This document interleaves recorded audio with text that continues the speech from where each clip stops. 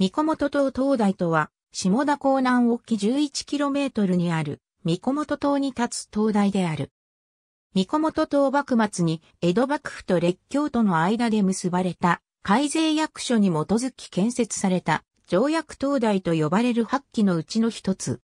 竣工は明治3年11月11日で、初点灯には三条、耳、大久保利道、大熊重信ら、明治の元君とイギリス帝国公使、ハリー・パークスが来島し立ち会っている。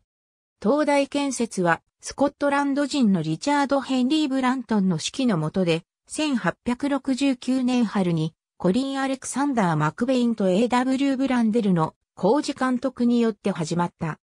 日本人、石膏200人を雇った離島での工事は難航を極め、そのことが原因で、マクベインとブランデルは東明大係を離れることになる。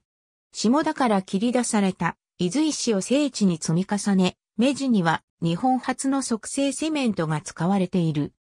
石像灯台では日本最古の現役の灯台であり、国際航路標識協会が選定した世界歴史的灯台百選の一つで、また日本国政府により史跡に指定されている。東急は第三等軍。促成セメントに経年及び波浪による劣化が見られたため、耐震補強を兼ねた工事が1982年と1995年に行われた。炭素繊維などを使って東大全体を補強した。2007年から2008年にも電源設備を中心とした改修工事が行われた。ありがとうございます。